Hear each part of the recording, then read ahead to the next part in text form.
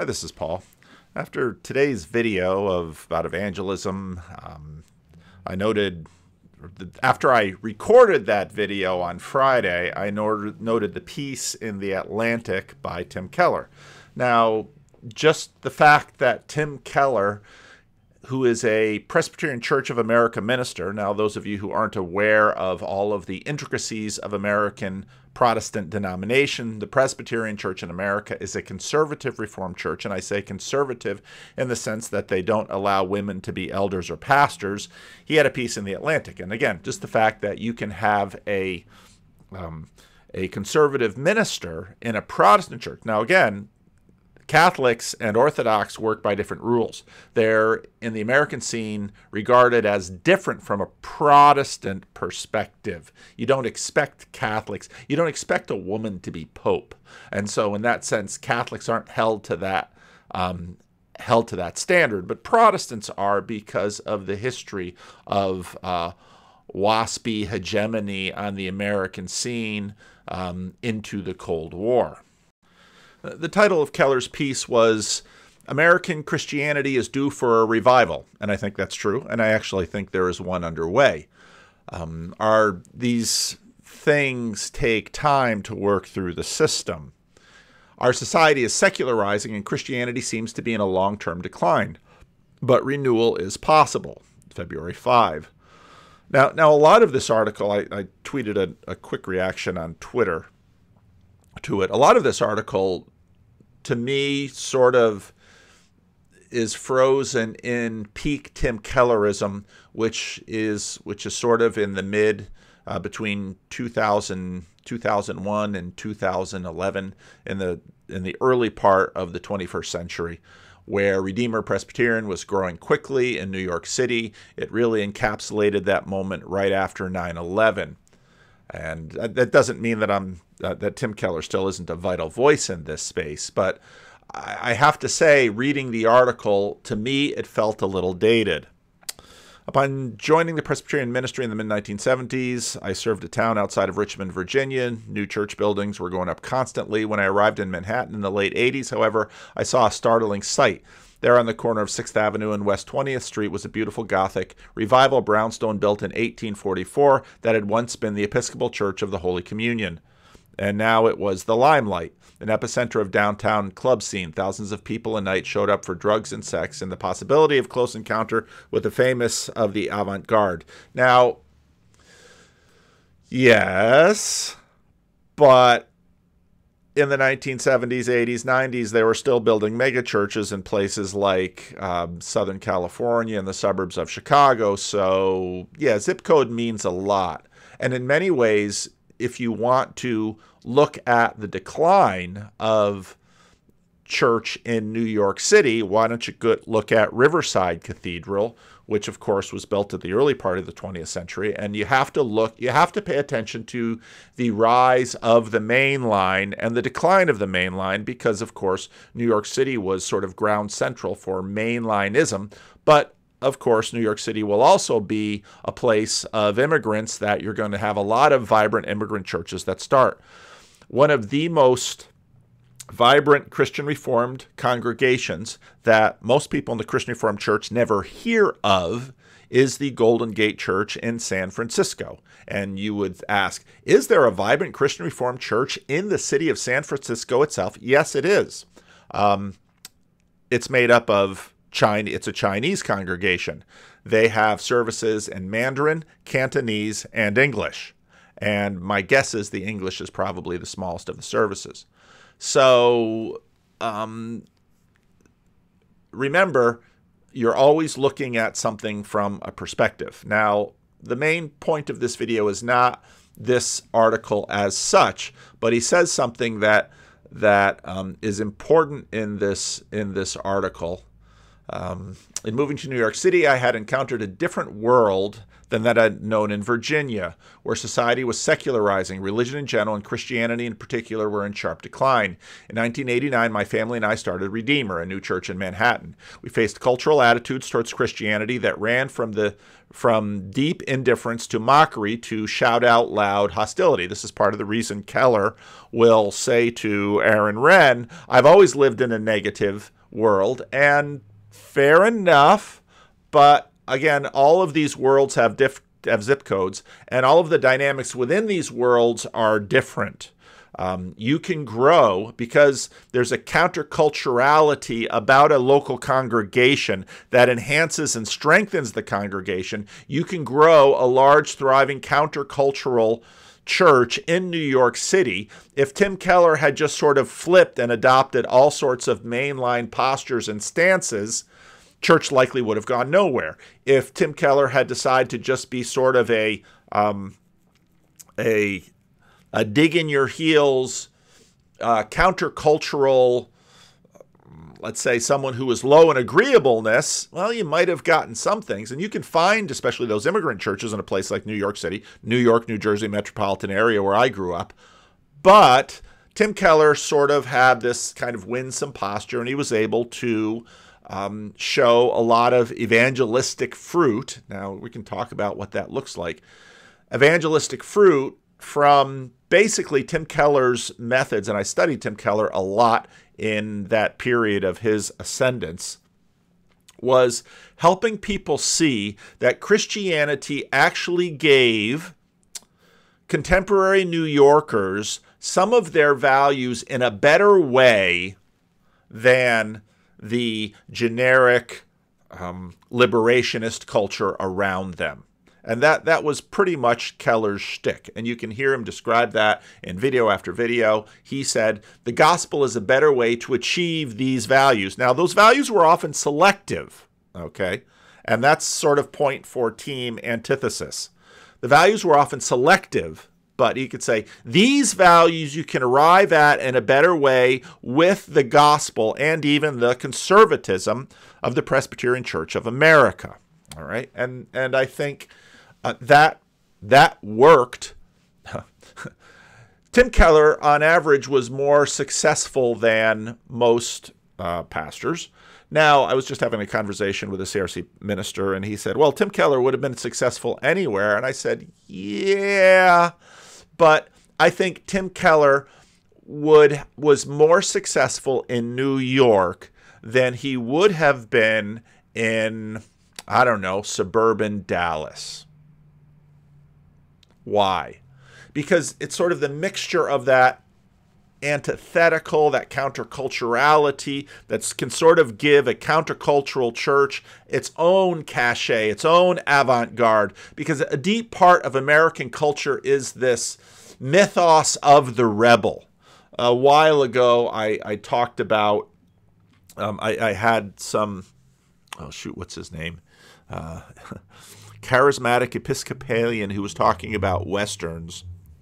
And I still have to watch um, stuff to watch some interviews with him.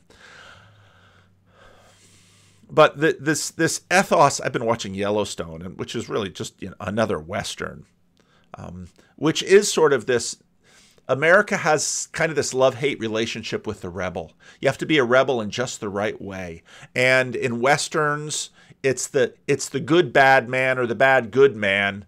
I mean, you cheer for the Dutton family in Yellowstone, even uh, even though they're racking up the body count and taking everyone to the train station. And those of you who watch Yellowstone will know what I mean. And, and so to be a a a thriving countercultural church in New York City that believes in things like the physical resurrection of Jesus Christ and the um, infallibility of Scripture and male headship in the Presbyterian Church, there's a degree of rebellious cachet that a church like that is able to muster and to grow, and it's it's sort of an oddity. And so, in thinking about Sam and Tripp and Bethel's conversation about that that was in the video that I posted this morning. they can they can build on some of that and yeah okay i can go to this building that is a pretty building and rainbow flags and but but that's just like the hr that's just like the hr um, person at my business the the mainline church and the hr department have all the same beliefs why go because the hr department seems to have more teeth than the rainbow flag waving mainline church down the way that might have a pretty building. So I might go in there with a Saturday. But yeah, you might as well just convert it into some kind of hip club or coffee shop. Or in the Netherlands, we walked into one place that was selling, you know, clothing. What I've experienced in New York City for decades has now spread across the country. As in 2021, the number of religious nones, people who don't identify with any established religion in the U.S., has grown to nearly 30% of the population, while professing Christians constitute 63%, down from 75% only a decade ago. Why should anyone besides Christians like me care whether the church revives? Many Americans would say that the church is inconsequential to them. Right here you can see this is this is Keller's regular move in terms of his evangelistic appeal. He will say that via Christianity, via belief in Jesus, via participation in the church, via all of this, you can achieve what you already value even better than um, a nice bottle of wine and a Netflix subscription. You can do better you can do better than joining the Sierra Club or, um, you know, following uh, Greenpeace on Facebook. You can do better by actually engaging in, and then, you know, Keller's a very powerful, persuasive preacher. Many Americans would say that the fate of the church is inconsequential to them. Others want very much to see the church to continue to shrink. I shrink. I believe both attitudes are mistaken. Many secular um, social theorists, including Emil Durkheim and Jonathan Haidt, to name two, show how religion makes contributions to society that cannot be readily supplied by other sources. Cultural unity, Durkheim argues in 1890s, required a conscience collective. Ho, ho, ho, ho. Pretty close to my consciousness collective. Look at that. Consciousness Congress. All those C's. Um, a set of shared moral norms that bind us together in a sustained way. These norms are understood to be grounded in something sacred and transcendent, not created by culture. Okay, now let's pause there. Something sacred and transcendent. I read that sacred list in the previous video, and that list continues to haunt me. Because what that list evokes is this idea that the sacred is something we can't seem to dispense with. It's built in in a deep way that we sort of feel. It's it's not a social construction that can be that see, part of the so part of the reason people get excited about saying things like sex is a social construction is because they imagine that it can be transformed according to the moral norms that they think uh, they prefer and should guide the universe. And so the good side for people in terms of motivation, why people get excited about saying such and such is a social construction is because we can change it. The nagging anxiety beneath that is if it's merely a social construction or a social convention, then it's not going to last. Then it's it's sort of like in democracy, you can vote in your favorite party, but they can be voted out again. So so now suddenly um, a social construction is just up for grabs for the zeitgeist or the whim of the people. But Durkheim and Haidt, and now you're going to go Durkheim, Haidt, and for a lot of people, Jonathan Haidt was a gateway drug to Jordan Peterson. Because what this whole movement is going to, is trying to get at is now I'm going to talk a lot about natural law and some of you are going to get really excited because natural law has been a very something that conservatives have been getting excited about. And the history of natural law is very interesting. Of course, it's been big in Catholic thought, and now it's very interesting to hear in this conference in Battleground, Washington, all of this excitement now in conservative reformed communities about natural law and excitement around Jordan Peterson about natural law. But most of that natural law excitement is coming from a conservative space and the the excitement is well well here's finally sort of a a a really strong argument for traditional marriage. And and behind Jordan Peterson is really this this way to sort of repristinate and make natural law more compelling. And in the same way, it's it's the same with Jonathan Pageau because Jonathan Pageau is is not using the Bible primarily in sort of a fundamentalist modernist war kind of place, but there but Jordan Peterson and Pageau are using the Bible to say this is the structure of reality. And when Jordan Peterson does his biblical series, he can use the Bible to say, well, these dynamics in the garden don't necessarily point to, let's say, um, a video camera version of Adam and Eve in the garden where you can watch the serpent's lips move, but it points to uh, structural, fixed, non arbitrary foundations that aren't social constructions but are permanent in the system. And once you know these permanent things in the system, then suddenly you can bank on them. And then the the opportunity motivation within us says, okay, well, once I know the structure, well, now I can build on it. And and science has long been this kind of thing. And so it's very interesting where where Keller begins with his paragraph where basically saying, "You and I want the same thing." But I'm going to argue with you that I can get there better, faster, um, more lovingly, less selfishly via the Christian method than you're trying to get at it via your basically watered down mainline methods. And but now we're we're moving to Durkheim and Haidt. Durkheim recognized the difficulty difficulty secular cultures have in cultivating moral beliefs that are strong and unquestionable enough to unite people. Again, there's something that you don't want it to simply be the whim. Remember, Nazis came into power via democracy. They were voted into office, and that's a that's a nagging anxiety underneath democratic systems. Another nagging society underneath anxiety underneath democratic systems is that more brutal systems will win because of, let's say, game theory. Consider the evolution of America. In the classic 1985 book Habits of the Heart, read that in seminary.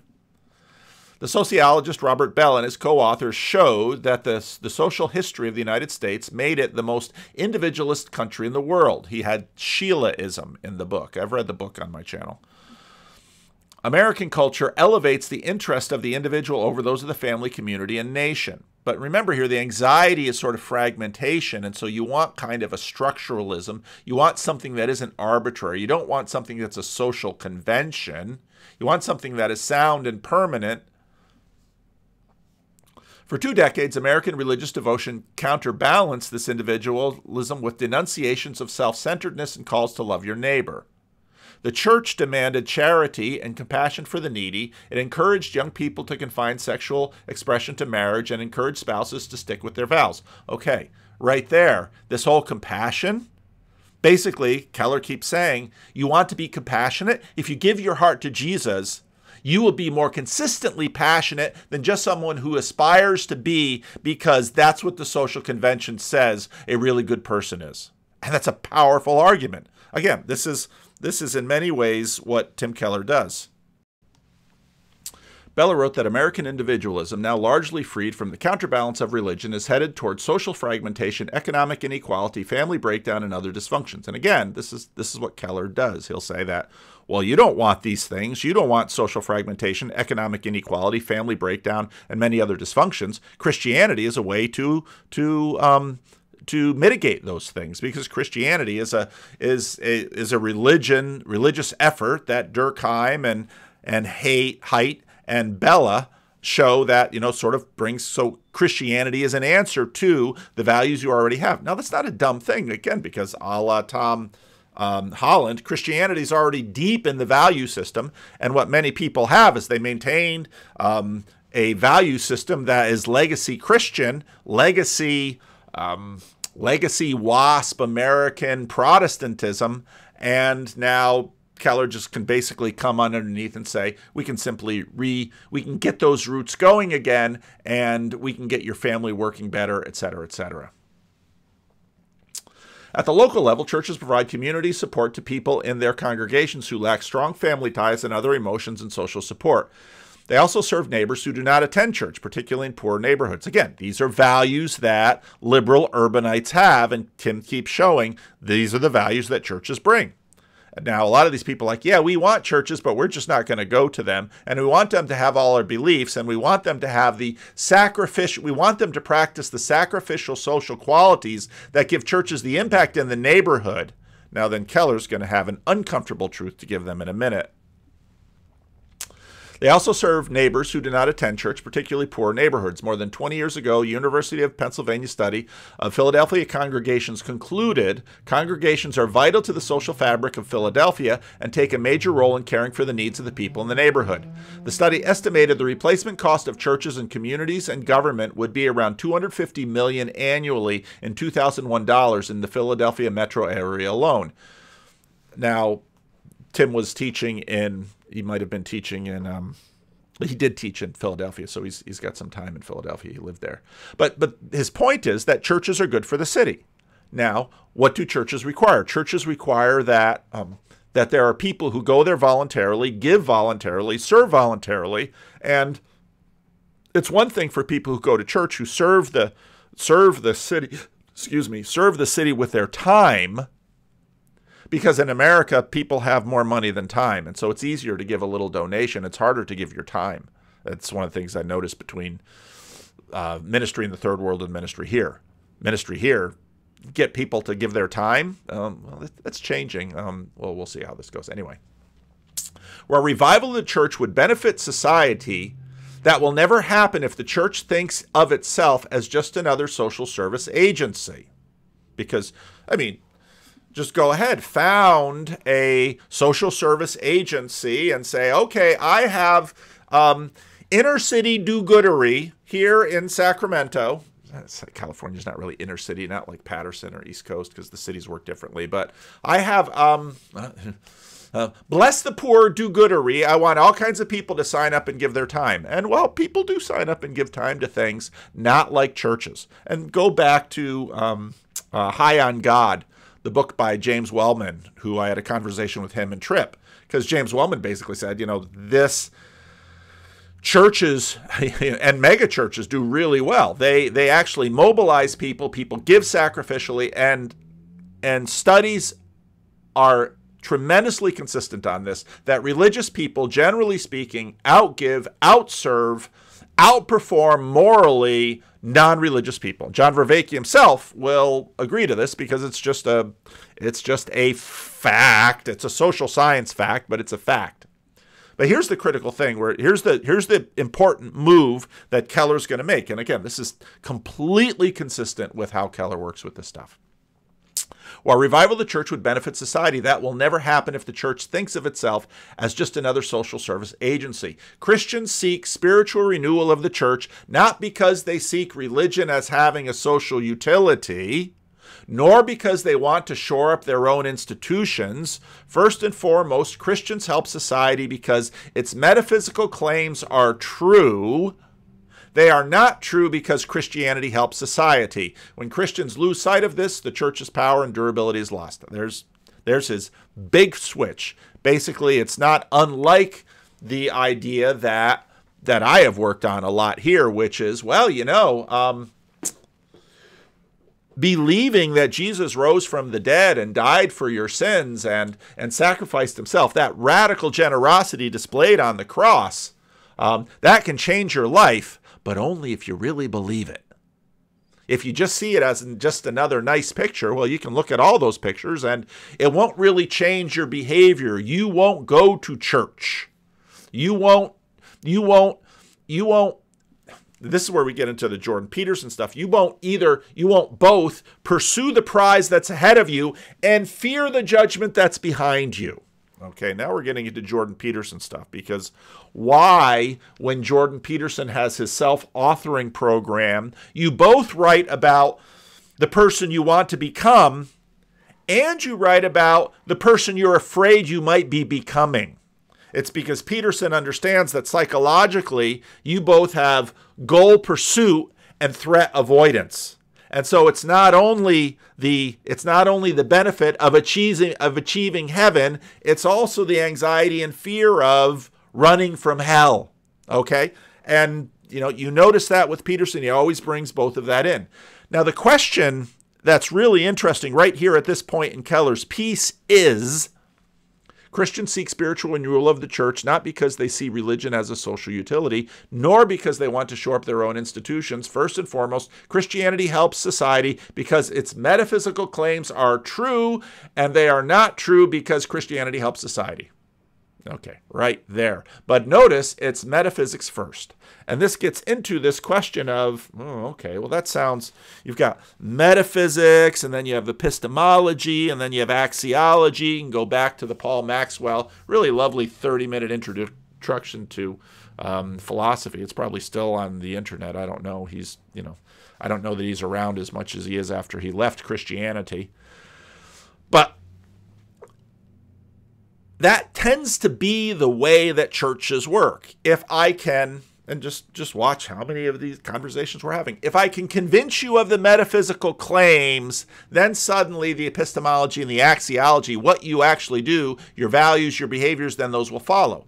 Keller in some ways sort of flips the script on that and says, let me find points of agreement in the axiology. Let me find points of agreement in the value matrix that works in obviously a society like ours, which has so much Christianity built into it. And then let me show you how embracing the metaphysics and acting that out liturgically and making having a Christian conversion can then help you actually live out the values you aspire to live better than your secular neighbors. And again, you can throw in very traditional Christianity. Well, why can't my secular secular neighbors do better? I know some secular neighbors that do quite well. You might say, yeah, but it doesn't really scale because they're just sort of eaten up by their own desires. They um, they spend more of their money on themselves. They they tend to get hung up in bad marriages or too many divorces or drug problems or alcohol problems and they you know they, they fritter their life away on amusements and pleasures whereas the the earnest Christian disciple en masse again. You'll find some exceptional people, granted, but en masse, Christians will mobilize themselves in communities. They'll have structures of accountability, and as a group, they will lift a city far more than these secular do-gooding institutions. It's Keller's argument. But remember, it's metaphysics first. And metaphysics has been exactly the point that the church has struggled with. Now, onto the rest of the video. There is a revival that is underway. Just ask Justin Brierley, he can see it. A lot of us are seeing it. And of course, it's got a very strange preacher at the center of it, one that doesn't attend any church regularly. Isn't that strange? I think if you understand Keller, and, and this goes all the way back when I first discovered Peterson, I was like, huh, what's going on around this guy? And so then I started, I went on Reddit and I started reading YouTube comments, et cetera, et cetera. And then I started noticing there was one comment that I saw from one guy, and I began seeing it in multiple times. I used to listen to Tim Keller. Now I listen to Jordan Peterson. And I thought, well, that's interesting. I didn't know much about Peterson then. Why? Why would someone who listened to Tim Keller start listening to Jordan Peterson. And of course, once I started making videos, once I started talking to all of you, suddenly a whole group of you, natural law, natural law, natural law, and you know, a lot of you noticed my reticence. I don't talk a lot about natural law. Um, created order, you'll hear me say, that's much more of a Dutch Reformed sort of counterpart to natural law. But of course, natural law was very much sort of a Roman Catholic thing. And there are reasons why Protestants traditionally, but now they are, and that's very interesting. Protestants traditionally didn't really go down the natural law way. And I, I'm going to touch on some of that in this video. I think part of why Peterson is is sort of how to say this participating in this revival has everything to do with the reimagining of natural law. Maybe I'll change the slide title and uh, because all this stuff is really loose. It's all just me thinking. And if anything, with Jordan's sort of new United Nations, the United Nations has its foundation in 20th century Protestant natural law.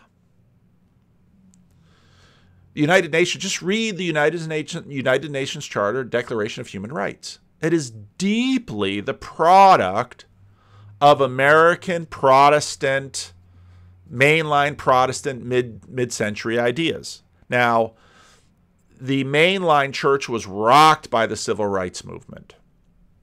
And I've talked about that before. And the mainline church has been um, in serious decline. And the serious decline of the mainline has been taken, um, has basically the what they have dropped evangelicals have picked up in the 20th century and that's a that's a story that continues but really what's i think a big part of Jordan Peterson's participation in this revival is the reimagining of natural law. And and this is and in seeing this I really see it really helps me see why sort of where Keller fits into this progression and why reading Keller in The Atlantic feels a little bit like 20 year old. This is I mean Keller's church took off after 9 11. And Tim has been retired for a few years now. His idea was to split up Redeemer into other congregations. I have no idea how Redeemer is doing now. Some of you out there might know, and you can let me know. My guess is it is not. It does not have the kind of cultural power that it had in, let's say, 2010. Even though, again, I Tim Keller is an amazing preacher. Um, I've I, have i have heard wonderful things about some of his latest books. I'm sure I will read them. Um, big Tim, big Tim Keller fan here, but I think what's been happening with Peterson is part of this movement of the new revival. Now, why? Now we're going to go back through some history. If you read C.S. Lewis's The Discarded Image, in broadest terms, there was a synthesis of the classical world, the classical Christian. I mean, a lot of what happened in those initial centuries of Christianity and the growth of the church, how the church took over the Roman Empire, was a, a, a worldview, a synthesis of a worldview began to take form. And we've talked about that before. The earth is not the center is kind of, but the earth is the lowest, uh, the almost lowest place. The only place lower than earth is hell. But the earth, and you go up into the heavens, and then you know you go up into the ether, beyond the moon, et cetera, et cetera. Just look at the whole, just look at the whole medieval cosmology, obviously with some deep ties to Aristotle. Okay, so it was a Christian, pagan, classical synthesis that governed the world and began to break down in late um, in in the late medieval period and would eventually be unseated by what happens, especially sparked. I mean, the, the Protestant, I'd say sparked by the Protestant Reformation. The Protestant Reformation is another part of that larger movement that unseated the classical medieval synthesis. All right. And Paul, Paul of Tarsus, see my Roman studies. Paul helps put these churches, these worlds together. So this book, which is kind of a fun little, um, this this book is basically about the history of interpretation of the Book of Romans, and he looks at oh just a whole variety of ancient interpreters and Origen. You know, so you've got most of these chapters. You have let's see, who do you have in this one chapter? So you have Origen, you know, one of the early interpreters, Augustine, Abelard, Aquinas, Luther, Erasmus, Wesley, Karl Barth, and then new perspective and narrative approaches. And that's there he's writing about um, this one particular passage on uh, Romans 7 and 8. Origen's focus, when Origen read the book of Romans, Origen was saying Paul is trying to bridge the Hebrew and Hellenistic world. And I think that's right. The Hebrew, it's the letter to the Romans. Paul was trying to reinforce that bridge, and the, the early church would grow from the bridging that Paul put together. You know, go ahead, Jacob. You can leave your comment. I know you will. Church fathers worked on that project and put it together, as did Origen, and and so Augustine of Hippo and the in the Western Empire did the same thing with Neoplatonism. So you had all of this development to put together one cohesive Christian philosophical world in which you have this this development from the classical period into Christianity, and that holds through the medieval period, and and natural law was very easy to imagine because there was deep alignment between the world that they experienced and the world that they saw in Scripture. And they had all kinds of ways to put that world together. Now, of course, with Copernicus and the you know that's going to start getting unraveled and Lewis of course will will write about that.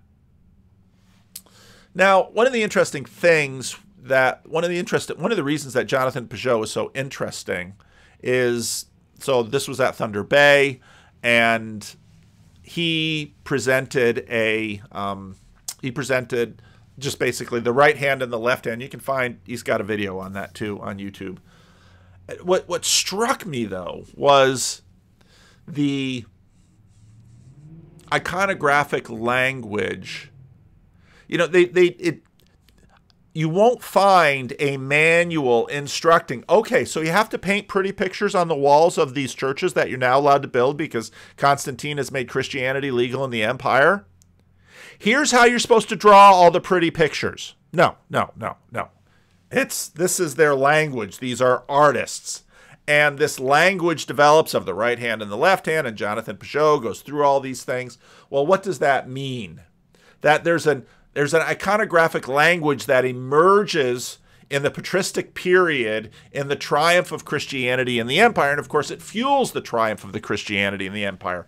It's set in there, but but look at look at how the people look. It's clearly a language in terms of what angels look like, what saints look like.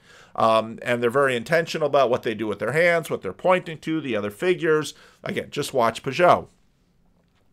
Constantine, whether he's adored or reviled, facilitates the reign of Jesus as king in some ways in a return a return to Israel's monarchy, an end of the God of Israel's exile. So, in many ways, Jesus is now coronated by the empire as king of the world.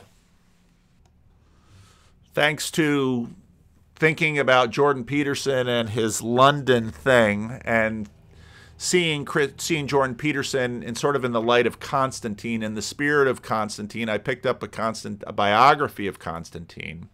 The introduction says this: The Roman Emperor Constantine changed the world. For many millions of people across this planet, an institution that he introduced and promoted has become a central part of their lives. They use or hear words that we that he approved. In the 21st century, Constantine is the best known as a Roman emperor who converted to Christianity and in so doing made it possible for Christianity to become a world religion.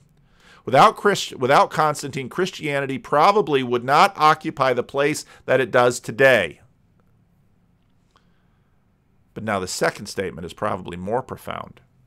Without him, it is unlikely that Christianity would have emerged from the mass of conflicting if often quite similar, belief systems coexisting in the empire into which he was born.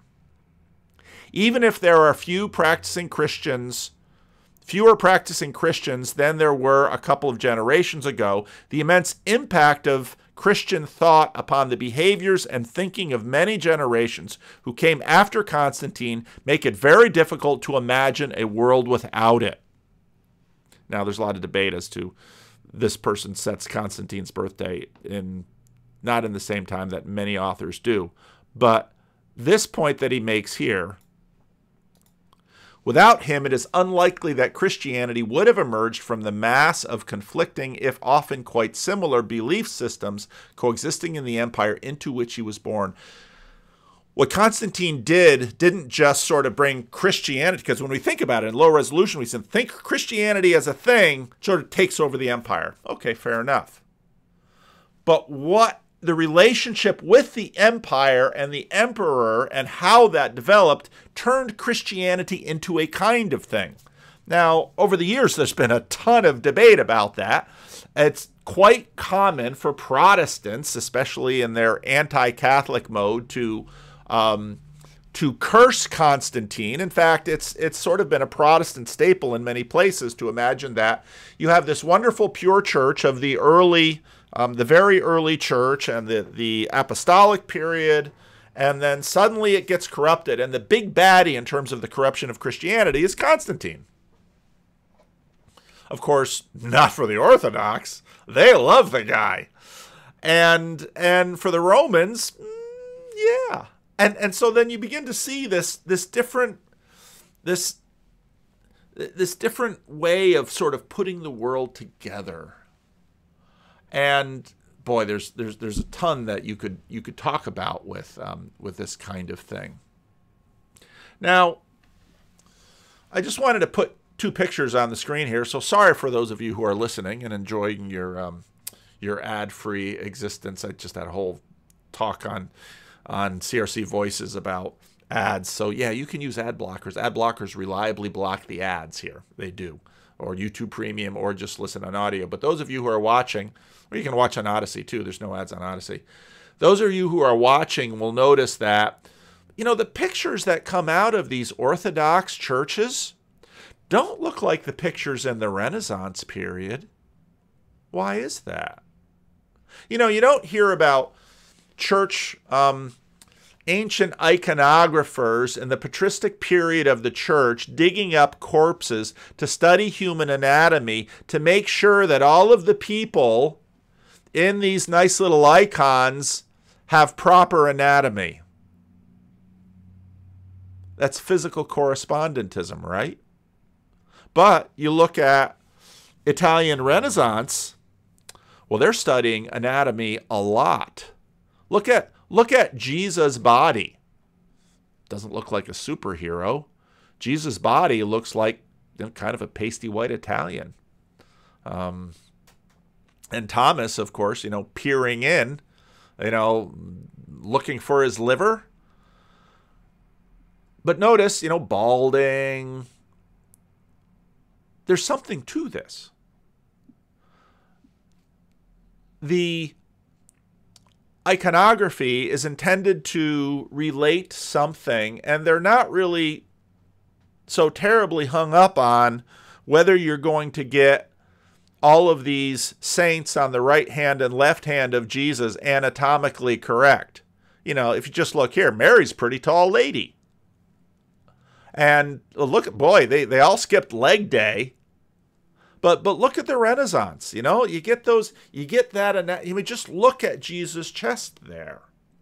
You know, almost a almost a photo realism. And of course this this struck me after my conversation with the with the with the art collective something's going on there. Now, this is a return to the sources. Now, when I say physical and literal, you all think I'm talking the way we use literal. Watch Pageau and that guy. Literal means this is a return to the sources. And the Renaissance people, in the Renaissance period, they are drawing pictures of Jesus and they want Jesus to look like you and me, or the you and me back in the time of the Italian Renaissance. They want Jesus to look like these are the people in my neighborhood. They want Jesus to look like, well, we're going to get the anatomy right, so we're going to dig up corpses and really study human anatomy so we can portray it like we do. That's Renaissance. That's not patristic iconography. And that same was happening with the Bible. So if you go to my videos that I started making in in 2018, you'll find this great course a lot. I should probably re listen to it because I'll hear all kinds of different things that I didn't hear then. The Philosophy and Religion of the West by Phillip Cary. And he talked about the, this return to the sources. And this is where you get Erasmus and Luther, where they are, they are going back and they are checking the readings. And they are, um, you have this renewed interest and availability of classical texts. And now with the printing press, Erasmus is saying, here's Jerome's Vulgate, here's a, a Greek text that we have, and here are my notes. And you know what? Jerome's Vulgate looks more like mythological or universal history, what Pageau and Richard Rohlin are talking about. That's what Jerome is doing. When Jerome is like putting together the Vulgate, putting together the Bible, and he's just going to make sure that the Bible is correct in terms of all of the theology. And in fact, if there's a few words missing, he'll make sure to put them in so that all the stories have everything in it. And in some ways, if you look at, I'm not going to get into the whole King James thing. Erasmus begins to undermine Jerome's Vulgate in this sense because Erasmus is just looking and saying, we have older Greek texts. Now pay attention, just look at, think of, watch the way we're thinking about history. We have older texts. Jerome is putting stuff in. Well, it's sort of like having, you know, Alexander the Great go to Jerusalem and say nice things about the Jews and, you know, and even it, it's sort of like oh, what was it? Oh, it's it's um Josephus. You know, Josephus one comment that seems to get close to Jesus, and then suddenly there's this there's this really amazing, almost a confession of faith in Josephus, and people got very excited. And then a little bit later, people said, no, that was added later. Josephus didn't write that. Other copiers wrote that. Well, why did they feel why did they feel the liberty to add that? Well, it's, it's, it's the same psychological package as mythological or universal history. They're piecing their world together. And something changes whereby we're not seeing, you know, the right hand and the left hand of Jesus and, and all these patristic looking pictures. We're having artists who are digging up corpses and trying to get the anatomy right. And it has a different impact on us, doesn't it? We might look at those pictures. I mean, Jesus with two different eyes, and it's like, what's with that? And then, of course, Jonathan Pageau will come in and tell you and tell you, show you all the features. It's like, oh, oh, oh. Suddenly you're learning the language. But when you look at the Renaissance, it's like, that's a much subtler way of communicating, isn't it? So this is a return to the sources. Luther builds on Erasmus and finds in the older Greek text reasons to question the mythological history of the Vulgate. Go to uh, Carlos um, Eire's rec- um, Reformations. These titanic changes that happen in the Western world. You have the Columbian Exchange. Martin Luther is a product of the New World, even though he never left the Old. Because Columbus, you think about Columbus, and these ships get all the way over to America, and well, what are these? Are they people? Are they people like us? Now, again, if you watch, it was a real struggle for the Europeans to think about these, these very different cultures from them as people. And it's really easy for us to be really hard on them, but pay attention, the Native Americans did the same thing to each other the Dine, the Navajo. What is it, anthropologists have gone through the world, and you know what everybody calls themselves? The people. You know what everyone else is? Not the people. Gentiles and Jews, barbarians and Romans. Again and again and again, human beings do this. And so Europeans go over to the Americas and they're like, and and either they go up well these are these are noble heathens that have been untainted from all of the sin of our world. And so these are these are angelic creatures. Watch the mission. Or the other way these are subhumans and they're animals and worthy of our subjugation so we can subjugate them for all sorts of things like beasts of burden. It usually goes both ways. The titanic changes of the western world the printing press. Now suddenly Print can be ubiquitous and it's cheap. Urbanization of Europe and the rise of literacy in the middle class, the decay of the feudal system, pervasive interpretive pluralism, um, eventually undercuts the certainty of the text and our ability to reinterpret it. Now, suddenly, well, you know, if you wanted to know what's true, just read the Bible or read Aristotle for physics. Now, well, don't read, you're not going to get your physics from the Bible. You're going to get your physics by going to a tower and tracking the movement of spheres in space. Because you know what? You have the Catholic and Protestants lands there, but you know, if you drop that sphere in a Catholic land and a Protestant land, it's the same in both. Oh, now we have something to build from. Natural law. And then Christians, of course, studying God meant studying those spheres. God can speak, you know, Belgic confession. God speaks through two books general revelation, special revelation. God speaks through dropping spheres from towers and measuring them, and God speaks through the Bible. Both. But it's different. Yeah, it is. The heavens declare the glory of God. You'd find that all the way back in the Old Testament. You're figuring this stuff together. So rationalism and empiricism sort of become well, if we can't agree on the texts and we can't interpret the texts together, maybe we can construct a value system based on the speed at which spheres fall because that does they fall the same in Catholic countries, Protestant countries, they they fall at the same rate in the new world. They fall at the same rate in India. They fall at the same rate in China. Now suddenly we have a universal platform upon which we can build or rationalism, logic. Here, all this logic works the same in any of these places, right? This is all stuff I ran through in 2018. Enlightenment physical correspondentism as truth. And in many ways, this is the system that is now passing because I should pull up that, that piece. Hmm. Remember this? Oh, you think it's just a table.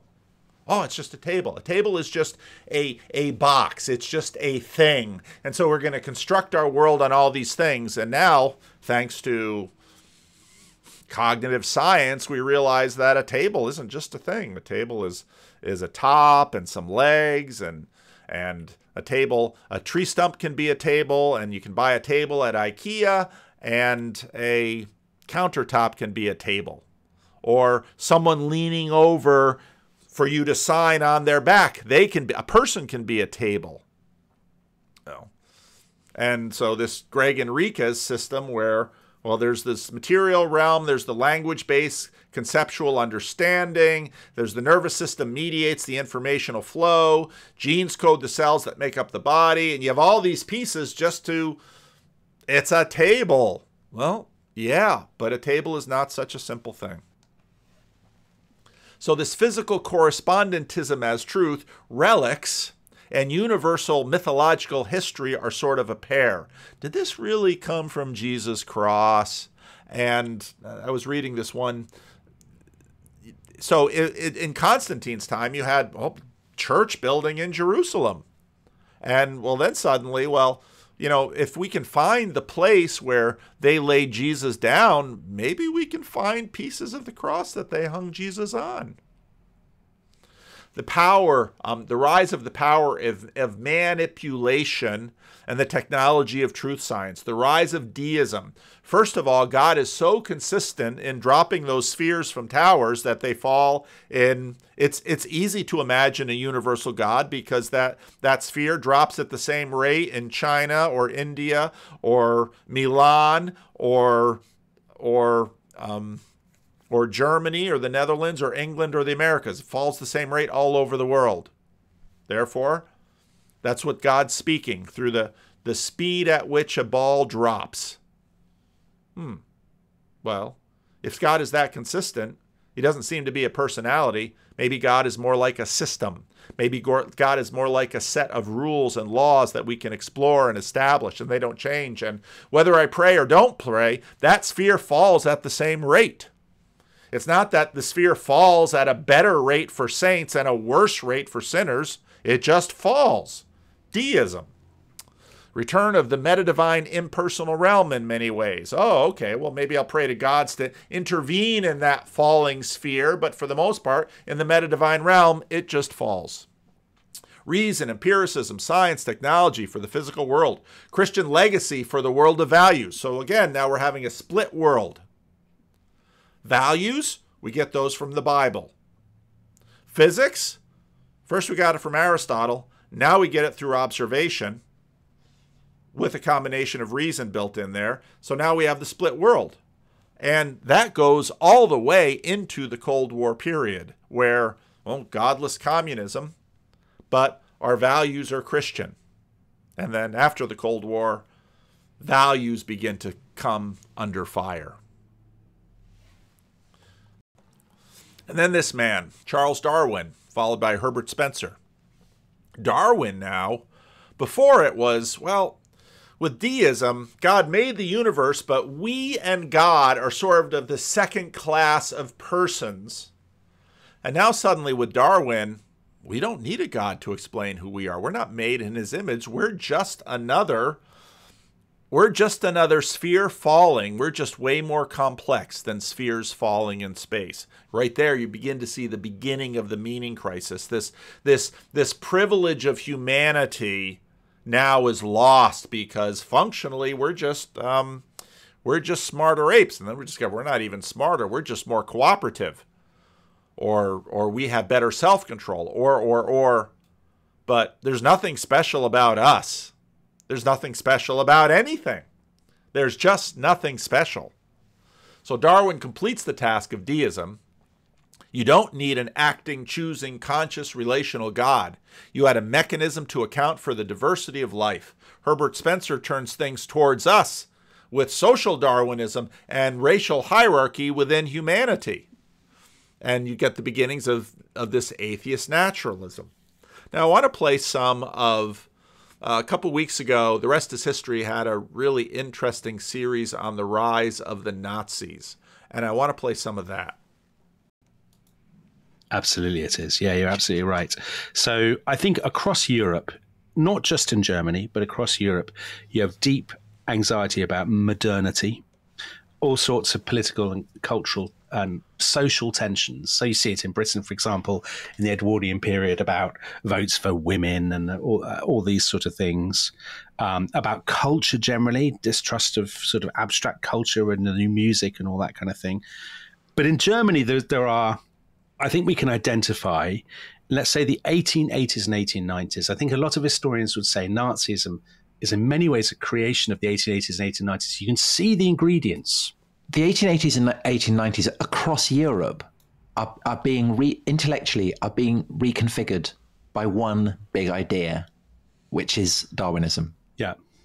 And what Darwinism does is to upend the fundamentally Christian idea that the rich have a duty of care for the poor, and so on. That there is a, there is a value in being, you know, in weakness, if you like, and it upends that. At least the and that's not the only Christian idea it upends. It slowly begins to erode on other things, and a lot of a lot of things pick up on that way that that Darwinism comes to be expressed, the idea of uh, survival of the fittest, and so on, and that provides intellectual sanction for you know European countries across the board at their their political, you know, their economic, their military, their cultural apex, basically to go around kicking sand in the face of anyone they want to. I think that's probably true. I think Darwin is Darwinist ideas. I, I, I agree with you. I think they permeate into all kinds of different areas. The idea of competition, the idea of struggle, the idea yeah. of a kind of inevitable confrontation. And as you said, actually, Tom, I think you're probably right. A disdain for weakness that perhaps wasn't so strong before. And therefore, a kind of an anxiety that different peoples are in a race and that if you drop behind, then you're going to be crushed. So I was kind of looking at this uh, in the context of all the various themes that will feed into Nazism. And it's very kind of international. So you have you have a German Wilhelm Marr, who in 1873 is recalibrating Christian anti-Semitism in very overtly Darwinian terms. That, yeah. that it's not about religious prejudice. It's about the fact that there are differences within the blood. Yeah, and he, he absolutely. So he, he's, he's ex- now now notice here that this particular level, this physical level, now becomes the the the key level for everything. So you really see racism. You know, there's always been bias among different groups, and you had a um, you had a tribal anti-Semitism that rises and falls, but now it becomes a racial anti-Semitism because again of of how this is developing. Explicit yeah. about that. It's not religious. It's racial. It's racial, and he he coins the word anti-Semitism, and it's something he's tremendously proud of. And he, 1879, he founds the League of Anti-Semites. So that's the yeah. German angle. But then in France, also you have, as you said, this incredible strain of anti-Semitism. And it's in France that um, thinkers coined the idea of, of the Aryans as a master race, the kind of people from the north as a, as as people who should properly be the rulers. I mean, it's a kind of odd thing for the French. You know, it's it's um, what's his name, Gobineau. Yeah, and that gets translated into German in um, 1898. So that's obviously also part of it. But then there is also this British figure, Houston Stewart Chamberlain, who who writes this work, The Foundations of the 19th Century, and he further kind of refines this idea that history is forged by the competition between races. And he posits that the two great races the two racial groups that have kind of retained their original purity amid all the miscegenation that's been going on are the Aryans and the Jews, and that the Aryans and the Jews are locked, therefore, in a contest for global supremacy. And you can see how, you know, this Anglo-French German swirl of ideas is going to feed into Nazism. But it is there, you know, it's it's not specific to Germany. Right, agreed. Houston Stewart Chamberlain, he was a, an old boy of um, Cheltenham College, Tom. Is and he? he's drawn into this anti Semitism because he's a passionate liberal, would you believe? So he hates Benjamin Disraeli. He has an absolute loathing of Benjamin Disraeli, who, of course, has Jewish ancestry. Uh, interestingly, Chamberlain marries the daughter of Richard Wagner. Richard Wagner. Yes. Yeah. So Wagner is a hugely interesting figure. Um, of course, is for some people he's tainted because of his associations with this. Okay, but you, you, you begin to get the you begin to get the sense of what's happening here, where you have natural law and it's built into the world and it's all physicalist. I mean, the, the problems with the Jews are in their blood. It's not in their religion, it's in their blood. It, you can read Timothy Snyder. It gets very, it's very interesting where there's a, I remember I first started to get onto this when I, I first listened to Tom Holland talk about Nazis and he was saying, these Nazis are radical environmentalists. And it's like, what? Nazis are radical environmentalists. And if you start sort of tracing this down, this level of physicalism begins to make sense. And so if you read Timothy Snyder in Black Earth, the communists all want to have sort of this social structure that's going to allow the eventual evolution away from the state. But the Germans, when they're conquering places in Eastern Europe, keep trying to get rid of institutions and structures to allow natural dynamics to take place. And for them, it's all mechanistic it's racial, it's evolutionary, it's natural. And all of these, I mean, part of their resentment of the Jews was that they thought, well, the Jews brought Christianity and all of these ideas of, you know, respect for the poor, all of those kinds of ideas that Tim Keller is now basically saying to modern New Yorkers, well, you know, you want, you know, cruciform, respectful generosity to the poor, and you see how this is in competition with your hedonism well, if you want to really live your values, you should become a Christian. Now you might say, well, well, what happened? Because you can see how eugenics fits into this. Well, what happened was, um, what what happened was that the the rest of the world begins to see where this goes. I mean, just read almost anything before the Second World War. Not almost anything, but eugenics, you will find eugenicist arguments very common before the Second World War. The Scopes trial is about. Am I on my next slide already? I think I read that. The Scopes trial is about um, Herbert Spencer as much as it's about Darwin. Well, I'll back up a little bit. So, during the Second World War, of course, Lewis is going to try to reach back to the Tao and the older natural law but the tensions with Darwin remain in Lewis. Uh, nature is red in tooth and claw. So, natural law, and this is the thing if you read the Beatitudes, I just preached on them a little while ago. If you read the Beatitudes, the Sermon on the Mount, there's nothing natural lawish about the Sermon on the Mount. Blessed are the meek, for theirs is the kingdom of heaven. Oh, blessed are the strong, for they will overtake the world. If you read Darwin, this is what the Nazis were saying nature is red in tooth and claw. But beneath the modernist fundamentalist fight is this fight over Darwin. Now, it's usually framed as science, but again, go back and see William Jennings Bryan. William Jennings Bryan, in some ways, is just trying to save natural law from Herbert Spencer. Even though we sort of had this split world morally, thanks to Hitler, the Americans and the, the Western powers that win, they basically enshrine in the United Nations Declaration of Human Rights, they enshrine this order of human exceptionalism, which cannot be found in Darwin. Well, Darwin didn't talk about people that much, but that's where it went. Um, all of the, the it's the fundamentalists that in many ways are mitigating against natural law because natural law now has become red in tooth and claw. That's what we see in the world. Natural law before the Enlightenment was, well, you know, the music of the spheres. This Aristotelian medieval synthesis in which there's a good God and human rebellion, and we're in the low place and we seek to rise and climb and, and you know, go up the ladder. Adolf Hitler did what Bryan couldn't, but as a cautionary tale. Now, if you go back and you watch my video that I made, Establishment Protestantism won the culture and lost its Christian identity. In the counterculture, all of this changes. Okay? Natural law is in many ways undermined. And the story from the 1960s until now has been one of big transformation. People in their they might still retain some of these Christian values, as, as Tom Holland notes, but their worldview is very different.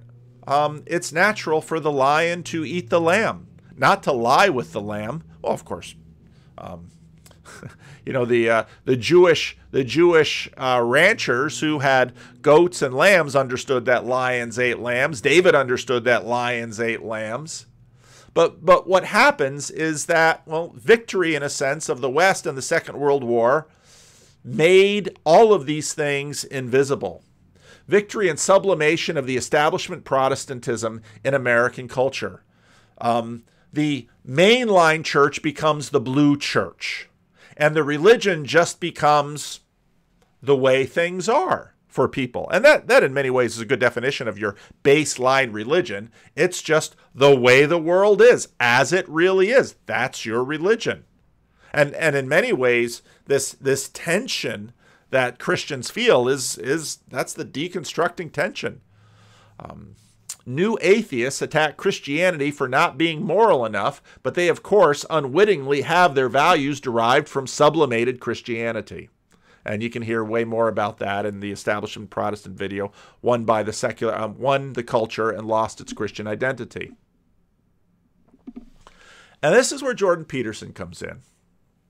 Because in many ways, he is taking Darwin. He's not denying Darwin, he's a Darwinian, but he is reconstructing a natural law that has both the Bible and Darwin, and he's using psychology to do it. Okay, so this talk he gave in Israel, I thought was a really good example of, um, let's see, how long is it? Uh, we're going from 40 minutes, about a half hour. A really good example of, okay, this is where, this is what Jordan is thinking and doing right now. And as soon as I saw him through the lens of natural law, some things started to come together. Really? Okay, so I thought I would talk about three things tonight, responding to the previous two speakers. I'd like to talk about stories. I'd like to talk about unity. and I'd like to talk about responsibility. I'll talk about responsibility in relationship to something like sacrifice. So let's start by talking about stories. So I think the most fundamental discovery of the last 75 years on the cognitive perceptual front, and, and, that would include, in some strange way, the domain of literary analysis, including postmodernism and also artificial intelligence, uh, the, the, the construction of autonomous robots, which you may notice aren't here yet. Um, there's, there's, there's been a convergence of both investigation and conclusion on those fronts, I would say. In some sense, because all of those disciplines ran into the same problem head on, pretty much at the same time. And that was something like the problem of perception. And the problem of perception is a very deep problem. And it's a problem that undermines the objectives of pure, of both pure rationalism and pure empiricism. And, and so you'd say, in some sense, it undermines the claim to totality that's part and parcel of, the, of an overextended scientific enterprise. Okay. So now we're talking epistemology. How do you know the world? And you know the world. Uh, this video is a little low, so I'm going to lower my, lower my sound level a little bit. Sorry about that. Um, I'll try and get these sound levels right this world of objects. You go right back to maps of meaning. First sentence, you know, first paragraph in maps of meaning. You can construe the world as a world of objects or a form for action. It's right there. The problem is this the world appears to be too complex to perceive. And so, if you look at any even single object, although it appears to you as a unity, if you analyze it in its totality, it's composed of a multitude or even an infinite of subsidiary unities, and it's in a context of an equal number of unities above and beyond it in almost an infinite array. In, in short, there's almost an infinite number of ways to perceive a particular object. Now, it, it seems self evident to us because all we have to do is look at the world and there the objects are. But you have to understand that a huge part of your unconscious cognitive processing is devoted, will concentrate on visual perception. To visual perception, it's a very neurologically intensive process. So, part of the way that you solve that on the visual front, because it's particularly intensive visually, is that you only have a very small part of your visual field that's high resolution. It's called the fovea. And each cell in the fovea is connected to 10,000 cells in the primary visual cortex, and each of those to 10,000 more cells. And that kind of exponential increase adds up to a very large number of cells. So if you wanted all your vision to be as intensely high resolution as the center point of your vision, which is what you point at the world constantly, bit by bit, partly unconsciously when things attract your attention, and partly consciously when you direct your attention, if you if your whole visual field was as intensely high resolution as your fovea, you'd have to have an ed, head like a space alien just to keep all the brain uh, functional. And so you could imagine doing something. Imagine that you were trying to paint a photorealistic representation of a single cup and a flower on a table.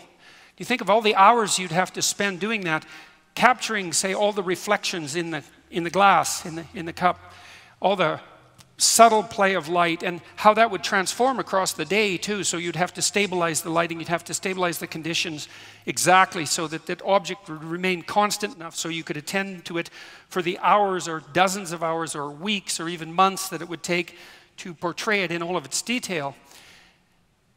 Because everything is singular in some real sense as well as universal. And so the problem of perception is a major problem. And it's associated with this problem of a plenitude of underlying facts. We should let the facts guide us. No problem. Which facts? Oh, yeah, that's a problem. Because there's an infinite number of facts. It's not just a little problem, it's a big problem. And so when robotics engineers started to design systems that could act in. So, what he's doing is talking about how the modern world, the Enlightenment world, the world of, well, God speaks with the falling of spheres, all over the world, that is being undermined. That is going away. There's a new natural law that is coming.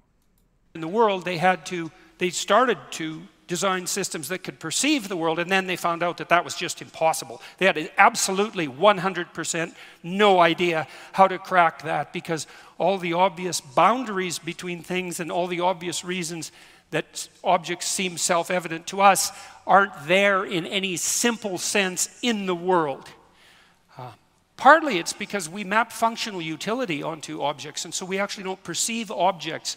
We perceive meanings and infer objects. And meanings are only relevant to something that's deeply embodied, or maybe even something that's alive. Or maybe even something that has a soul, who knows? So when I see this, it's a speaker, and the reason for that is because sound comes out of it and I can hear the sound. And when I perceive that, it's, it's something I can sit on. That's why a beanbag and a stump can both be a chair despite sharing virtually no objective features in common, apart from the fact they're both made of matter, which isn't really much of a commonality. And so you can sit on a stump and you can sit on a beanbag, and therefore they're both chairs. And I suppose those tables could be chairs too, because you can sit on them. There's a functional element to object perception, and it's not secondary. It's not like you see the object and then infer the function, because the way your nervous system is set up, the fovea pattern recognition systems map directly onto the motor output systems even before they map onto conscious vision. And so there are people who have uh, who are who are blind who tell you they can't see anything. But if you put up your hand in front of them and you ask them to guess which hand is up, they can guess with 90% accuracy. And they also respond psychophysiologically to flashed faces that show, say, uh, facial expressions associated with anxiety or fear or, or pain. Now, for some people, you might be thinking, why on earth are we talking about this? We started talking about narrative. Okay, then he stopped, went away from narrative, and now we're talking about brain science and we're talking about perception. And I think for a lot of people, for Jordan Peterson, a lecture like this is just kind of blah blah blah blah blah blah blah blah blah blah blah blah blah blah blah blah pronouns blah blah blah blah blah blah blah blah blah or blah blah blah blah blah blah blah blah blah blah blah blah conservative natural lawism blah blah blah blah blah blah blah blah done and and or blah blah blah blah blah blah blah politics blah blah blah blah blah blah blah blah done Jordan obviously thinks that all of this stuff he's talking about now are integrally important for even the stuff that he posts on Twitter. Well, what is the connection? He's he's laying out the end of the modern world. And okay, well, you can't not live in a world. You have to fill it with something. And of course, Jordan is going to say the world that we live in is a world portrayed in narrative from the Bible and the Bible actually teaches us how to live. Wait a minute, I thought you're some arch conservative. Nope, nope, it's not who he is. And so they can't see, but their eyes can map the meaningful patterns of the world onto their bodies. And our visual systems are complexly layered like that. They map onto us at multiple levels of analysis. And so we have to see the world. We see the world as a meaningful place we see the world as a meaningful place before we see the world as a world of objects. Now, that's something. If it's true, that's something. And then you might ask, well, what is the structure of meaning through which we see the world? And that's the next question. What is the structure of meaning through which we see the world? And the answer to that is that's what a story describes. And that's why we love stories, because seeing the world Seeing the world so we can navigate through it, let's say. Seeing the world so that we can make our way forward. We can participate in the ex hodos, the way forward, let's say. Means we have to see the world through a story. Now, the postmodernists figured that out, and that's part of why their critique of science is actually quite devastating. Because they did make the claim, in some real sense, that the scientific narrative, the scientific process has to be nested in an underlying narrative. And that turns out, I would say, to be true. So, two thumbs up, perhaps, to the postmodernists for that. And again, I mean, earlier I talked about the fact that, well, if everything is sort of arbitrary, if everything is a social construction, then we can make the world the way we want it. Oh, but then anybody can make the world the way they want. And if we don't have power, then we're probably going to be out of luck. Oh, it might be good news if, in fact, there is a structure to the world if there is something above and beyond humanity's ability to manipulate it and control it, if in fact the world isn't perfectly plastic, and if in fact there is something built into this world. Oh, you mean like a natural law? Yeah, but that natural law, that, that natural law has like, what, isn't that what gave us Nazism? No, I thought the natural law gave us Catholicism. Oh, but then there was the natural law of Nazism. And now Jordan is going to come down and say, no, the Catholics, they had their point. We understand the postmoderns, but how exactly is the world? That discovery. Where they went wrong, and very deadly wrong, and politically wrong, and wrong in an intellectually prideful manner, I would say, is they failed to notice the magnitude of the mystery they had discovered, which is, for example, that any given text is susceptible to an infinite number of potential interpretations, which is a postmodern claim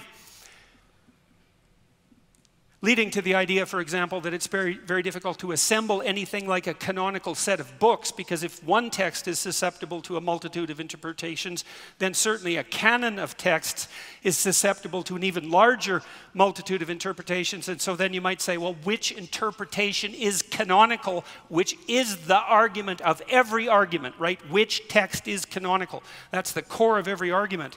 If you can't solve that for a paragraph or a single text, how can you solve it for a canon? And the postmodernists, allied in some sense with the Marxists, and for many of the same reasons, the desire to bring the margin to the center, let's say, jump to the conclusion that the narrative that we impose upon the world and always have is one that is nothing but the expression of naked power. Right? We hear that all the time. It's all about power. Okay, so a lot of people listening is blah blah blah blah blah blah blah blah blah blah blah blah blah blah blah blah power. Postmodernism, power. Oh, oh, oh, okay, yeah. Oh, oh, the power thing. Oh, I've heard him talk about this. This is good because this is where he's going to beat up on the postmodernists. But he just already said something that the postmodernists got something right. So, you know, the resolution is just kind of creeping up a little by a little.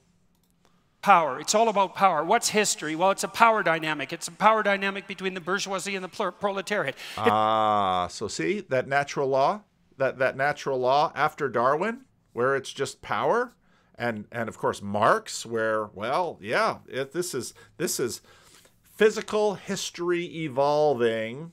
You know, Hegel a little bit too much Geist up there. Marx sort of brought it down into this into this material world of tables and and things and objects, but um, but that's that nature's red in tooth and claw. This is natural law is the world is just about power. That's the natural law that's functioning in a lot of people's minds and a lot of people's hearts. And part of the reason why a good God is unbelievable because all there really is is power. It's a power dynamic between com competitors in the economic environment. It's all power between men and women. It's all power. That's history explained in one term. What's the present like? It's all power. It's all domination. It's all oppression. It's That's natural law expressed in one term all victimization. It's all naked power. That's convenient for you if you want to express power, because if that happens to be the ethos by which you live, then why wouldn't you use power to put yourself forward in the world? If that's the landscape itself, and that's the fundamental Marxist narrative, but not only the Marxist narrative, it's, it's a deeper story than that. I would say Marxism is a branch of the claim that the world, the rule, a proper rule of the world is the spirit of power. And that's wrong. And not only is it wrong, Oh, he's preaching now. He's under he's undercutting this assumption of natural law. He's saying, "No, natural law isn't about power."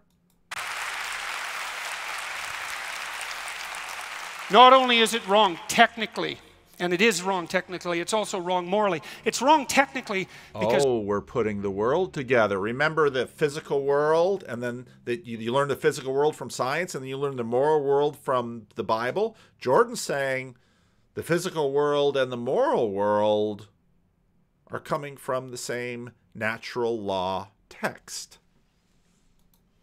As those creatures, including non human creatures, who rely on power to attain pre, to attain prominence or status, do that in a very unstable and inefficient manner. Why unstable? Those who live by the sword die by the sword. And Frans de Waal, who studied behavior in chimpanzees, our closest primate relatives, has showed very cl clearly that the most successful alpha males are not the ones who use dominance and force, but the ones who engage in the most reciprocal activity and are the best at peacemaking. Did you see what he just did there? He just footnoted Jesus, and some of you didn't know. He lives by the sword, dies by the sword. Yeah, that's that's that's that's one of these little proverbs out there. That's a truism. That's that's uh, that that just floats around out there. Gosh, wonder where he got that. Wonder where. Wonder who first said that. Jesus. Oh. Frans de Waal, a primatologist. You know, we, you've listened to Jordan Peterson for five years, you've been hearing about Frans de Waal. You saw him on the channel.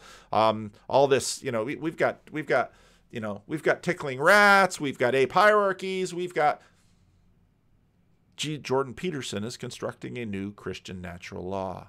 He is footnoting Jesus with Darwinian science. That's part of the reason Jordan Peterson is sparking this revival. Where it goes, I don't know, but this is a big piece of it. And so, so much for the biological argument. And then on the human front, so we are, there is a subset of people who rely on power to maneuver their way through lives, and those people are called psychopaths. And I'm not kidding. That's exactly precisely accurate because for a psychopath, Now we have a new psychological class of sinner. There's nothing but his own narrow, immediate self interest, and you are there to serve that function, and that's that. And then you might say, well, how successful are psychopaths? And maybe you're cynical and you say, well, everyone who's successful in business and politics is a psychopath. And then I might say, well, to the degree that you're successful, is that because you're a psychopath? And if it's not true for you, well, maybe it's not true for them either. Now, it is true upon occasion for a small subset of people, and that stabilizes at somewhere between 1 and 5% of population. Okay, he's going to undermine this natural law of nature red in tooth and claw that psychopaths inherit the earth, and he's going to say, no, the reciprocal inherit the earth. biologically speaking, with the mean around 3%. And what seems to happen is that if the number of psychopaths falls below to about 1%, everybody forgets they exist and they become incautious and allow them to proliferate, and then they can raise up to about 5%, and then everybody starts to see that the psychopaths are coming out of the woodwork and, you know, hits them back with sticks, and then they fall back to 3%. But if 97% of the world world's population, the world's individuals are making their way through life on non-psychopathic principles, then there's no way that you can say that psychopathy and the power drive that drives it is a successful strategy. It's not. And so it's not power, so it's wrong technically. Now, de Waal has also shown that. Again, well, if maybe the world is made in sort of a good way. So, and and you can see his his conversation about the dark triad or the dark tetrad, where he's actually putting together somewhat of a theodicy with respect to, well, maybe it's important we have at least some psychopaths in the world, but not too many. Chimpanzee males who use power to to dominate their hierarchy are very much likely to, to meet an extremely violent end and who have very short lives. And if you know anything about the history of tyrants, you might, might derive precisely the same conclusion. Then you might ask yourself as well if you want to have a successful relationship with your wife and husband, are you going to base that on power? So one of you is a tyrant, one of you is a slave, and that's supposed to be the recipe for a stable, iterating, reciprocal relationship that lasts decades? Good luck. Try it out. See how well it works. If you're a man, you're going to find that women aren't that easy to oppress. And if you're a woman, you're going to find that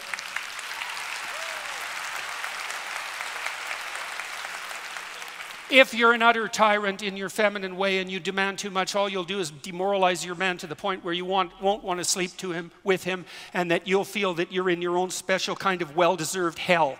And so it's not the basis for a stable relationship, and that's partly, and this is also extremely important. You imagine that there's, there might be one rule that would govern our interactions if we only had to interact once. And that rule might be I can dominate and win. I never see you again. I can take everything you have, and that's the end of it. But that's not the world that we live in. The world that we live in is a world of iterated interactions, right? Multiple games played over very long spans of time with many people involved. And so there's an ethos that emerges out of that that's something like an ethos of fair play. And people abide by that, and it's because it's a deep instinct and it's a deep moral calling to be reciprocal, to treat other people as you would like to be treated. And that's a good antidote to the ethos of power. And it's part of a much deeper story, which is a story that I would say the people of Israel originated in large part. And so, so then let's talk about unity. Um, here's Here's what unity does psychologically. You're either unified, which means you're pointed in a single direction and that your attentional priorities are linked towards some integrated aim, or you're aimless and hopeless and anxious. Because if you're scattered all over the place because you don't have a central narrative, then anxiety emerges to signal the path, path to signal the fact that you have too many competing alternatives in front of you. You're disunified. Consequence, negative emotion, anxiety in particular, which signals entropy, which signals disunity. So that's a marker of not being unified. What's the other marker? Most of the positive emotion that you, ex you experience, we know this neurophysiologically, most of the positive emotion that you experience that makes life worth living, analgesic positive emotion, anxiolytic positive emotion, the positive emotion that gives you hope and curiosity and drives you forward. That's experienced in relationship to a unified goal. And the higher the goal, the more hope and positive emotion that's experienced as you view yourself making incremental progress towards the goal. So you need a unified goal that's transcendent in order to quell anxiety and to give you hope. And the technical details of that, I would say, are already laid out. So that's you now. So that's on the individual front. If you're not unified, which means in some sense that you're the ethos, the spirit that inhabits you is not um, uh, is not. It's a plethora of deities rather than a monotheistic structure. If it's a plethora of deities rather than a monotheistic structure, you're anxious and hopeless because you're scattered all over the place. So, what happens socially? Well, socially, you're either unified or you're not. If you're not unified, then what are you? Well, you might be diverse, possibly, although you can have diversity and unity, which is what happens in a healthy and well established family. But if you have no unity socially, then you have disunity. And if you have disunity socially, well, what do you have? You have confusion and hopelessness, and that degenerates into outright conflict. So, without unity, the anxiety levels in this society and the hopelessness levels in this society mount to the point where people are at each other's throat.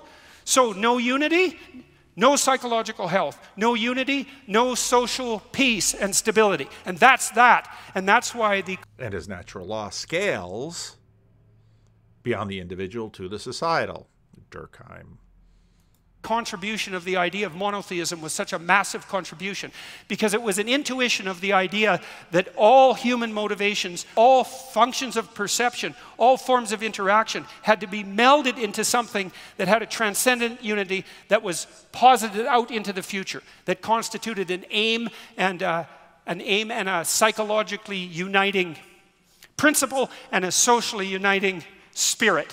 And to the degree that we all abide by that socially unifying spirit, then we're sane and peaceful and productive and generous. And that's not the ethos of power, quite, quite the contrary. So, in, with regards, okay, i have got one more thing to add to that the story. So, what's the antithesis to the spirit of power? Well, that's partly what's laid out in the biblical corpus. So, let's so imagine that there is an, a spirit that's antithetical to the spirit of power, maybe the spirit of deceit, maybe the spirit of pride, the catastrophic spirit of dissolution. It's a complex spirit because a transcendent unity has to unite everything, and something that unites everything is very difficult to apprehend as a unity. And so, what the biblical corpus does is it aggregates a set of micro stories which are representations of the transcendent spirit that unites us psychologically and socially. That's the nature of the biblical corpus. And the human imagination or God's divine providence, take your choice, has picked these stories because they each shine a characterological light on the nature of the Spirit that unites us in the highest possible sense. So we can walk. Okay. Now, part of what's interesting about Jordan's theology of the Bible is it is in fact Darwinian. It um, it it outcompetes and it outcompetes in a natural law way. It outcompetes because it's more accurate. It outcompetes because of its fittedness. It outcompetes because it's the best among the competition. So here you see this very interesting, this very interesting both use of Darwin to put together a new natural law that has the individual and society and accounts for the the narratives that that um, that sort of co-develop with us as we grow. We we need narratives. We're upper and lower register. We need narratives, and so there's this theology of the Bible. Walk through that relatively quickly. So, in the story of Adam and Eve, God is not least, and this is a God as character, or God as model for ritual emulation, or God as yeah, uh, God as central narrative figure. That's another way of thinking about it. God is the spirit that you walk with when you're not self conscious in a well tended garden. Okay, so why do you have a garden? precisely so you can do that. To forget about yourself for a minute, to engage in the apprehension of something balanced and beautiful, a walled garden, the proper, the proper integration of culture and nature and the proper apprehension in that situation frees you of your self conscious burden. And so, for a moment, you enter that transcendent state that's associated with the Edenic paradise. So, that's God in that story.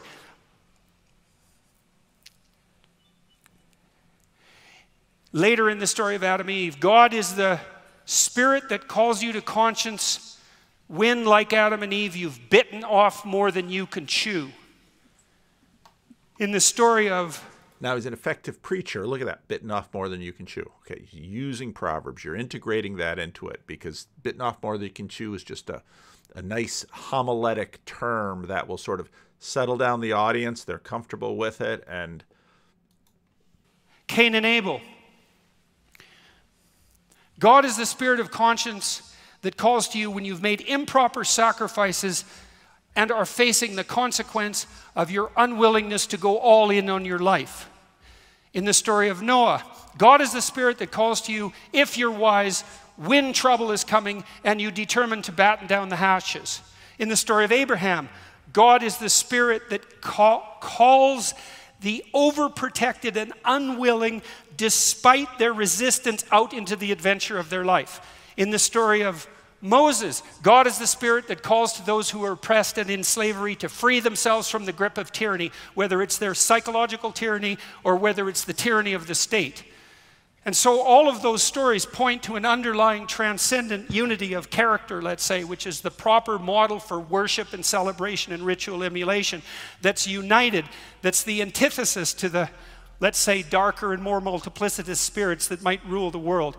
And part of the religious enterprise is the, is the elaboration and understanding, and then the incorporation, ingestion, and modeling of that spirit in your own life. And to the degree that you do that, you do what the Logos did at the beginning of time in Genesis. You use truth, truthful speech, guided, let's say, by love, to confront the transforming horizon of the future the chaos and potential of the transforming potential, transforming horizon of the future, and turn it into the habitable order that is good. And that's a manifestation of the image of God that man and women are made in. And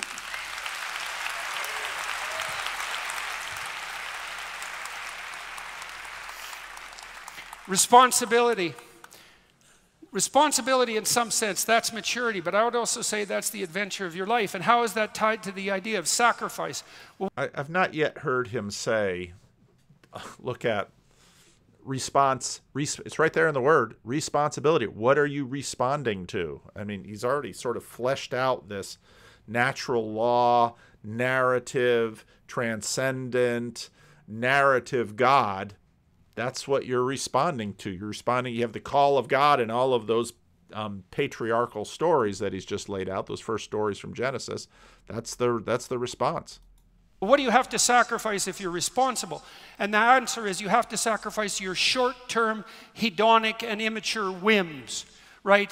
So if you're a child, if you're two, you're impulsive, and that means that you only act for the moment and you only act in relationship to what it is that you, as a singular individual, want in that moment. So now he's picking up on the countercultural thing because, generally speaking, as a culture, we have been in a hedonistic era. And when Tim Keller, Tim Keller says, These are all the values you really want, this is how you can get them. You can get them with Christian discipline, devotion, community, um, all of these things. Now, remember, Tim Tim started with the metaphysical. Well, once you get the metaphysical, then you get to all of the other things too. Um, Jordan comes out a little bit differently and says, okay, responsibility here is is where you're going to have to deny yourself, pick up your cross, and drag it up the hill. And that's just not a tenable solution to the complexities of life because you don't just exist in a moment. You exist as an iterated set of identities across time. You yourself are a community that extends across time. Now, now in many ways, um, this equilibrated state and Piaget, where he sort of puts this together, this is his eschatology. And you have to govern every action that you take in the present in relationship to the fact that you can do what you want tonight, man, but you got to put up with yourself tomorrow morning. And you got to put up with yourself for what you did tonight next week and next year and five years from now. And every single one of your actions is like that. And so, in order to act properly, you have to sacrifice the impulsive gratification and the easy way out that's characteristic of the moment and extend yourself across time so that you are acting in concert with the highest interest of yourself in the broadest possible range of contexts. And that's what it means to be an adult. And you and, and that's in some ways a psychological functional equivalent to the judgment, you know, standing before the judgment of God. And, and Jordan's put that together in other ways when he talks about ideal, when he talks about any ideal is actually a judge. It's sort of a psychological equivalent there of, you know, the, the final judgment. You do exactly the same thing with other people. In a relationship, in a marriage, you're not just who you say you are from moment to moment. You have to negotiate very carefully with your wife or with your husband on an ongoing basis, every week, every moment, in some sense, while you're communicating to understand not only how you can get what you need and you want, which may be necessary and, and, and, and important, especially in the long run, because you have to treat yourself properly, but so that you can do that in a way that your partner can also get what he or she needs and wants in a way that makes both of you more likely to get what you need and want over the long span and more so than you would get if you were alone. And again, people are life after death. I'm skeptical about that, but this sort of life after now communicates. Whoops. And if it wasn't the case, why would you bother with it? And then you have to incorporate children into that too, and that gets to be a more complex unity. So if there's five of you, well, how do you balance your individual needs and wants with, the, with that small collective? And that's the negotiation process that goes on in a family. And hopefully you do that too in the spirit of reciprocity and truth and love. And you take on that responsibility, and that's the core aspect of sacrifice right? The, the great discovery of the human race. That's what sacrifice means. And you make, you sacrifice the foolishness of yourself. You sacrifice the momentary foolishness of yourself to the highest good that you can possibly imagine. And there's nothing in that that isn't good, even though it's difficult. And so, and that's not mere inhibition of those impulsive gratifications that, if only were allowed to be manifest fully, would set you free. Quite the contrary, you would have precisely the freedom of an extremely badly behaved two year old. And that's no freedom at all, right? All that is is freedom to wander in the street and get crushed by the first car that drives by. And, so now this is sort of an, an, an, an, an analog to Christian maturity, where it's self denial, it's mortification. There's nothing in that that's proper unless you're two, and then only for a year. So,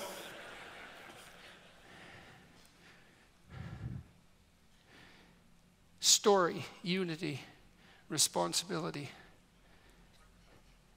So, what do we have to offer as an alternative to the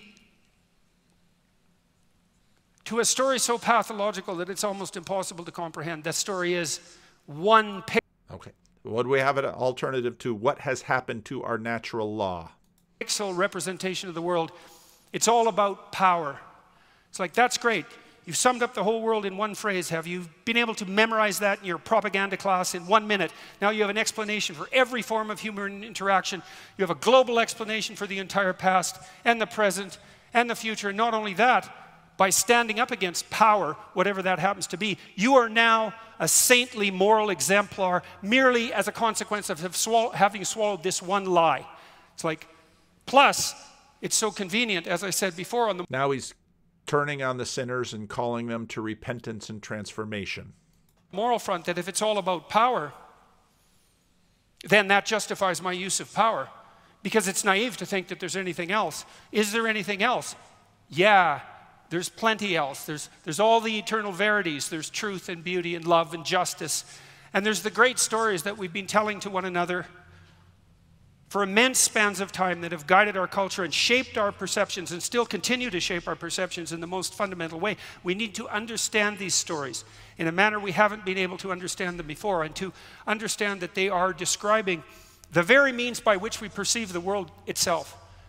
And that the understanding, deeply contemplated by successive hundreds of generations of human beings has winnowed out for us a pathway forward. If we only have the imagination and the wherewithal and the moral courage to look and to listen and to understand and most importantly to act out to take on that responsibility right? To confront the transforming horizon of the chaotic future the unpredictable, chaotic future, all that infinite potential there. That's where the infinite and the finite meet, right on the horizon of the future. And to chart our course forward, guided by the better story. And as Jews in Israel, are you telling the greatest story ever told?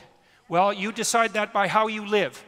And that decision will affect the world because everyone looks here for one reason or another. It's not so easy to understand. Everyone looks here to see, well, how are you actually doing under this tremendous assault of adversarial criticism as this little tiny people in the middle of no man's land in some real sense, as a, what would you say, cardinal model of the nation state and the city on the hill. You have a tremendous.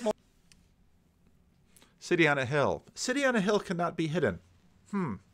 Wonder who said that. Wonder what sermon that was in. Oh, it was it was definitely by a Jew.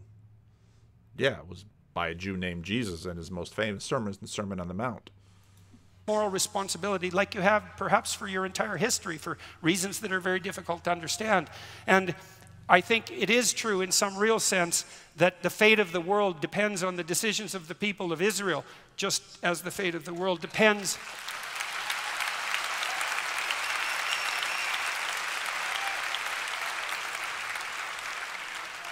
Just as the fate of the world depends on the decision of every individual.